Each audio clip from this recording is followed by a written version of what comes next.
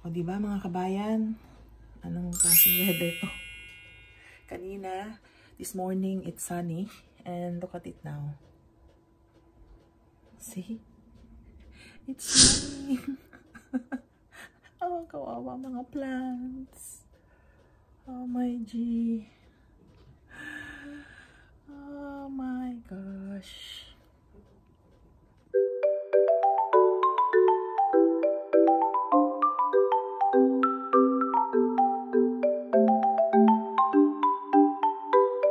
Tara! Yan po ang situation here in UK at the moment. It's April 6.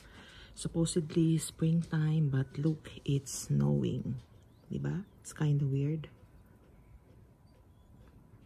See? And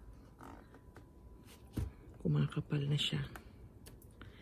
It's getting thicker and thicker. See?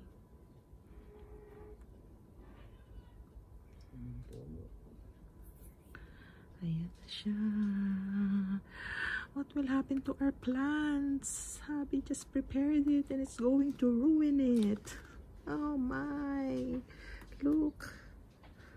Snowing in springtime. How weird the weather is.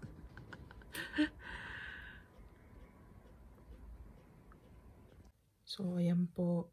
ah, nag-stop siya uli. Pero nakita nyo. I don't know kung mag-snow ulit. So, weird talaga ang weather.